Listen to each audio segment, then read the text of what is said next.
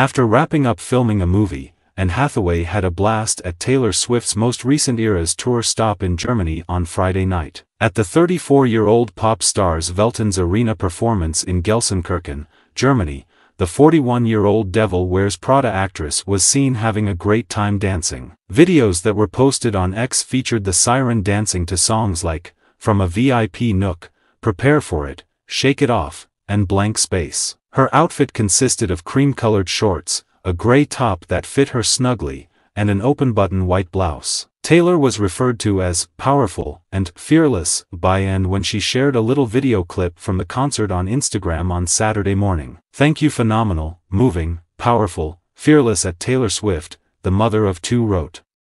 A big thank you to the amazing Eras team.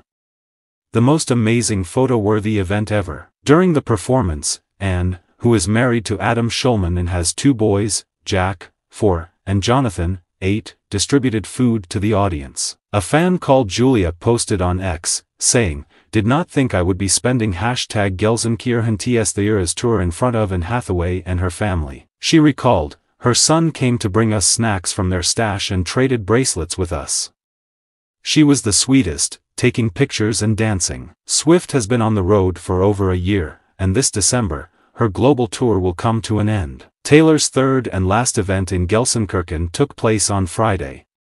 The next time she performs is on Tuesday, July 23, in Hamburg. With the release of her most recent album, The Tortured Poets Department, in the spring, the international phenomenon debuted a new element of her critically praised presentation. We really didn't take any time off at all when we got two months off of the Eras tour, she revealed during a gig in Paris. We started planning this surprise for you about eight or nine months ago. During a pause in the music, she stated, we just went straight back into rehearsals. So I'd like to give it up for my crew, my dancers, and my band. Released on April 19th, The Tortured Poets Department is Taylor's 11th studio album.